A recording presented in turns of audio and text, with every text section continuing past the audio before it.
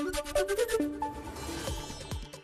ਦੇਸ਼ 'ਚ ਪਿਛਲੇ ਕਈ ਦਿਨਾਂ ਤੋਂ ਕੋਰੋਨਾ ਕੇਸਾਂ 'ਚ ਗਿਰਾਵਟ ਦਰਜ ਕੀਤੀ ਜਾ ਰਹੀ ਹੈ ਪਿਛਲੇ 24 ਘੰਟਿਆਂ ਅੰਦਰ ਦੇਸ਼ ਭਰ 'ਚ 2022 ਨਵੇਂ ਕੇਸ ਦਰਜ ਕੀਤੇ ਗਏ ਨੇ ਹਾਲਾਂਕਿ ਮੌਤਾਂ ਦੇ ਅੰਕੜੇ ਚਿੰਤਾ ਜ਼ਰੂਰ ਵਧਾ ਰਹੇ ਨੇ ਪਿਛਲੇ ਇੱਕ ਦਿਨ 'ਚ 46 ਮਰੀਜ਼ਾਂ ਨੇ ਦਮ ਤੋੜਿਆ ਦੇਸ਼ 'ਚ ਐਕਟਿਵ ਕੇਸਾਂ ਦੀ ਗਿਣਤੀ ਫਿਲਹਾਲ 15000 ਦੇ ਅੰਕੜੇ ਤੋਂ ਹੇਠਾਂ ਆਈ ਹੈ ਇਸ ਵੇਲੇ ਦੇਸ਼ 'ਚ 14832 ਐਕਟਿਵ ਕੇਸ ਨੇ ਦੇਸ਼ ਭਰ 'ਚ ਪੋਜ਼ਿਟਿਵਿਟੀ ਦਰ 0.69% ਦਰਜ ਕੀਤੀ ਗਈ ਹੈ ਪਿਛਲੇ 24 ਘੰਟਿਆਂ ਅੰਦਰ 2099 ਮਰੀਜ਼ ਡਿਸਚਾਰਜ ਵੀ ਹੋਏ ਨੇ